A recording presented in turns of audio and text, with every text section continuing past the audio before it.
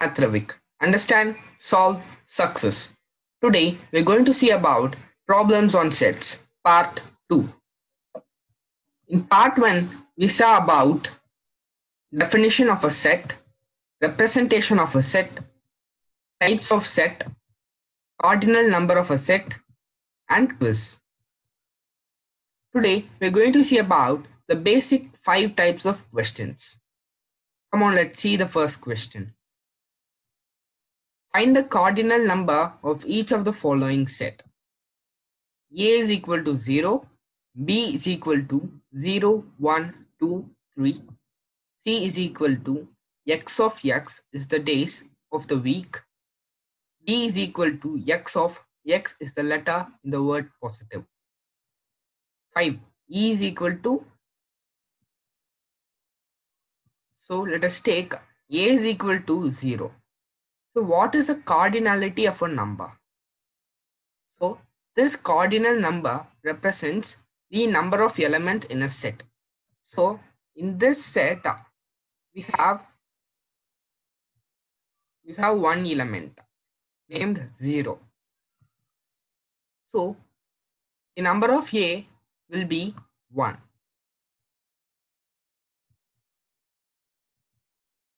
D is equal to 0, 1, 2, 3. So there are four elements in this set. So the cardinal number of this set will be 4.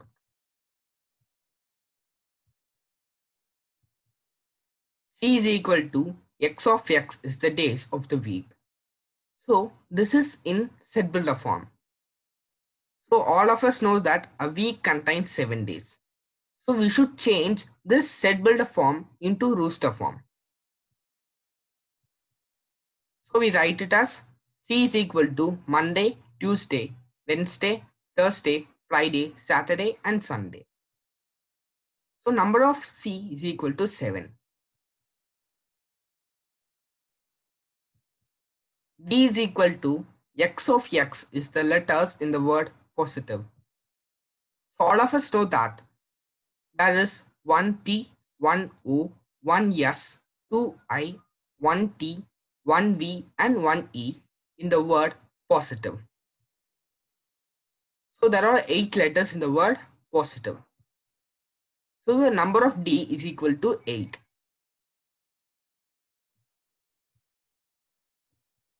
E is equal to nothing. There's no element in this set.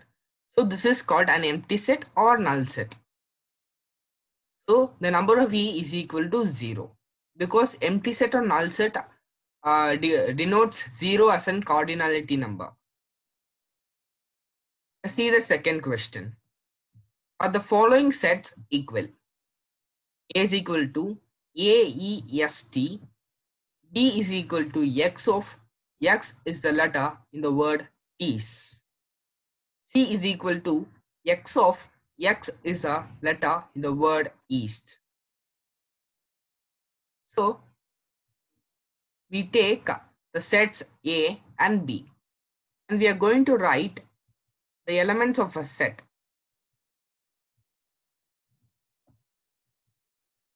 Now we are going to cross check it. So here the A is there and A. So E and E. So the letters can be repeated.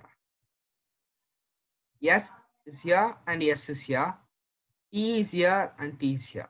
So other than these alphabets, there are no other alphabets in this two elements. So these two sets are equal.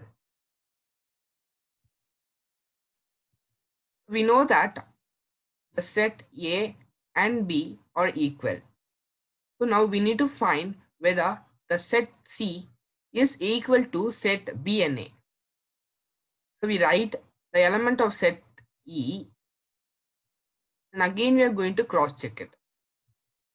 A, A and A, E, E and E, yes, yes and yes, T, T and T. There are no other elements or uh, alphabets other than these uh, things. So we define that C is also a equal set. So we denote that uh, these three sets are equal. So come on, let's see the third question.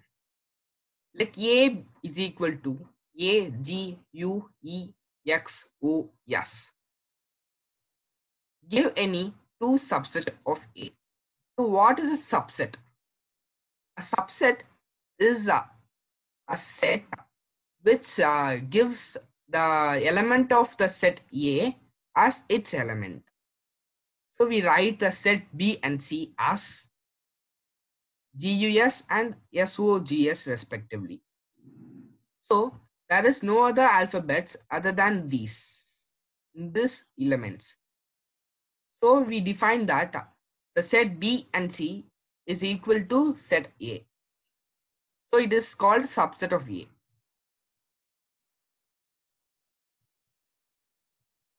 So let us take the fourth question as in a survey of university students, 74 had taken maths course, 94 had taken chemistry course, 58 had taken physics course, 28 had taken maths and physics course, 26 had taken maths and chemistry course, 22 had taken chemistry and physics course, and 14 had taken all the three courses. Find how many had taken only one course. So, in this type of question, we have two types of solving. One is step-by-step -step solving and solving by Venn diagram. In this question, we are going to solve it by step-by-step -step solving. So step 1. So let uh, MCP represent sets of students who had taken maths, chemistry and physics. So M represents maths, C represents chemistry and P represents physics.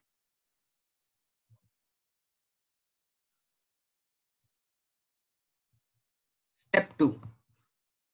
From the given information, we have number of M is equal to 64, number of chemistry is equal to 94, number of physics is 58, number of maths and physics is 28, number of maths and chemistry is 26, number of chemistry and physics is 22, number of maths, chemistry and physics is 14.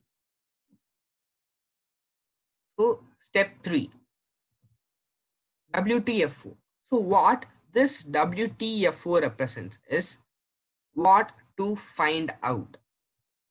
So we need to find how many had taken only one course. So there are three courses in the college. That's maths, chemistry and physics. So these three subjects are given by the institute. So there are 64 in maths, 94 in chemistry and 58 in physics. So the sum of three numbers are 216. So answer for this question will be 216. Now we are going to see how to solve questions using Venn diagram. Students of class 8, 65 plays football, 45 play hockey, 42 play cricket, 20 play football and hockey, 25 play football and cricket, 15 play hockey and cricket, and 8 play all the three games. Find the number of students in class 8.